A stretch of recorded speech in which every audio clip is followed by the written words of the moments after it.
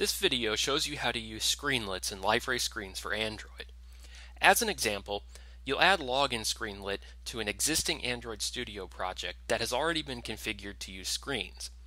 The previous video details this configuration by showing you how to add screens as a dependency in your app's build.gradle file. To use a screenlet in your app, add its XML to the activity or fragment layout that you want it to appear in. Here, I add login screenlet to the main activities layout. Setting the layout width to match parent tells the screenlet to take up the full width of the parent layout. Likewise, setting the layout height to wrap content tells it to use the minimum height that it needs to display properly. Now you're ready to test it. The login screenlet appears when you launch your app in an emulator. If you try to sign in without entering credentials, you get an error message in the app and a security exception in the log. Upon entering valid credentials, a login successful message appears in the log.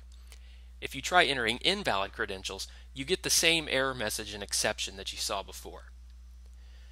Note that what I've shown so far is just the most basic usage of login screenlet. You'll undoubtedly want your app to do more than this. For example, when login succeeds, you may want to launch another activity or take some other action. To do this, first give the screenlet an ID and its layout file. You'll use this ID to get a reference to the screenlet in the Activities class. Now open the Activity class. In the onCreate method, create an instance of the screenlet by using the ID that you just gave it. As you can see in the autocomplete, you can do many, many things with this screenlet instance. But in this case, you need to set the listener to the activity class.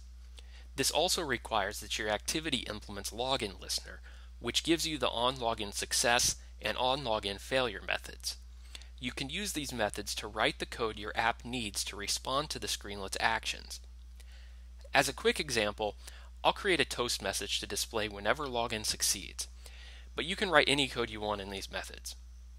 Now go ahead and test the app. Because no additional code was added to on login failure, the behavior when login fails is the same as it was before. However, when login succeeds, the toast now appears. While the success and failure methods and the listener differ between the different screenlets available in Liferay screens, the basic procedure illustrated here for using them is the same. For more information, see the screenlet reference documentation on dev.liferay.com.